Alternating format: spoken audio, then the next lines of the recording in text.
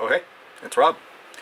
And uh, if all things work out properly, this should be coming out on Labor Day weekend. Uh, I'm filming it a little bit in advance because um, Labor Day weekend I'm going up to visit mom and I wanted to uh, take a little break and you know talk about some other stuff that's going on.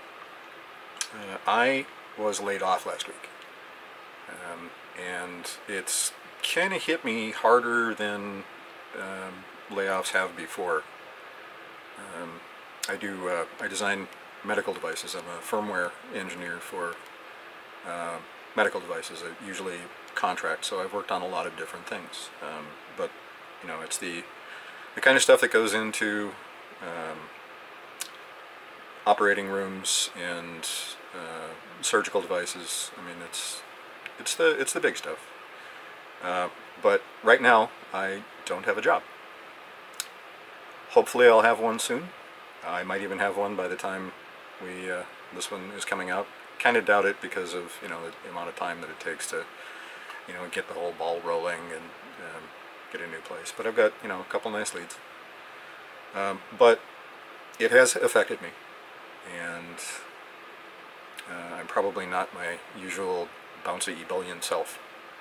Uh, I'm going to try and keep making videos. I'm going to try and keep it coming.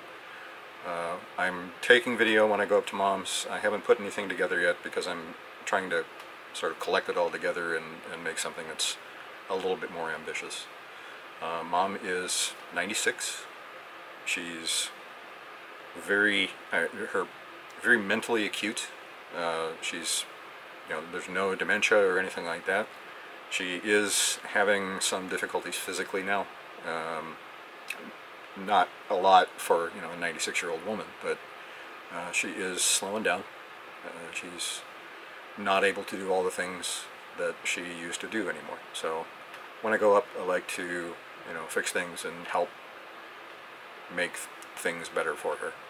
So I usually bring a bunch of tools and you know do what I can to help make her life better and keep her in her house. I don't know how much longer I have with her, so I'm trying to make the best of it while I can.